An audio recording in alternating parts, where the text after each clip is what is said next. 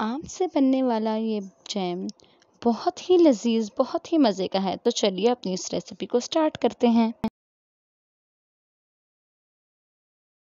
Allam happy summers to all of you आपको ये जो चीज़ नज़र आ रही है, ये है मैंगो का फल, प्योरे और वॉट एवर यू कॉल तो हम आज बना रहे हैं मैंगो जैम जिसके लिए मैंने फाइव टू सिक्स के जी मैंगोज़ ले लिए थे, उन्हें पहले मैंने फ्रीज़ कर लिया था अच्छी तरह से। अच्छे तरीके से मैंने उसको फ्रीज़ कर लिया था।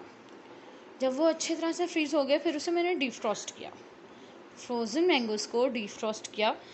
तो उसका जो पल्प है, वो वो मैंगोज़ बहुत ज़्यादा पल्पी हो गए, फिर मैंने उसे छीला। और छील के हाथों की हेल्प से ही गुटलियों के ऊपर से पल्प उतार के, उसे ब्लेंडर जार में डाल के अच्छे से मैंने ब्लेंड कर लिया। ठीक है? तो ये तो कहानी थी। कि हमने स्टार्टिंग कैसे की? तो अब हम इसका, जो फ्लेम है गैस ऑन करते हैं। तो फिर मैं उसके बाद आपको बताती हूँ। यहाँ पर इसको आपने गरम होने देना।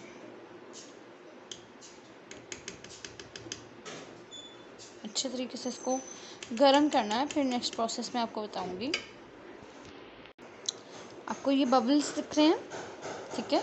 ये गर्म हो गया है अब हम इसमें शुगर ऐड कर देंगे। आप अपनी मैंगोज़ कितने स्वीट हैं उसके अकॉर्डिंग शुगर ऐड करें।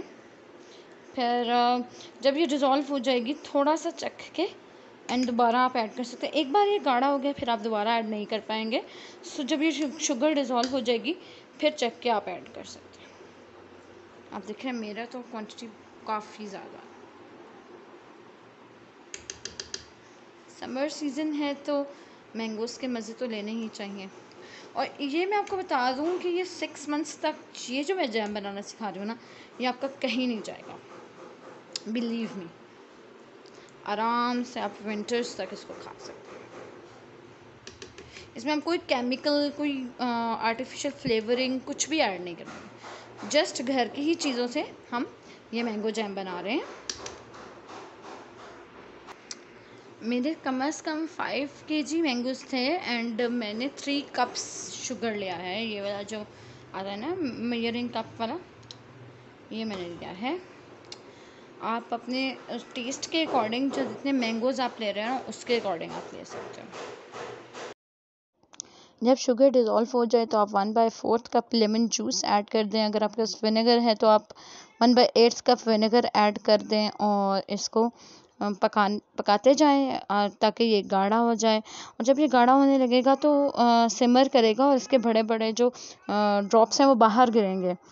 तो ये देखें, जब इस पॉइंट पे आ जाए ना तो आपने एक सिनेमन की स्टिक और सिनेमन पाउडर अगर आपके पास अवेलेबल ना हो तो आप दालचीनी का, के दो स्टिक्स ऐड कर सकते हैं। यहाँ पे मैंने वन बाई फोर्थ जो है वो ऐड किए टीस्पून सिनेमन की।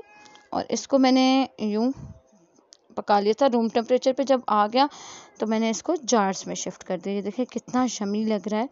ये बहुत ही अच्छा बहुत ही जमी बनता है विदाउट एनी प्रिजर्वेटिव्स और ये देखिए ब्रेड के ऊपर अभी से ही कितना अच्छा स्प्रेड हो रहा है। अभी फ्रिज में नहीं हमने रखा इसे।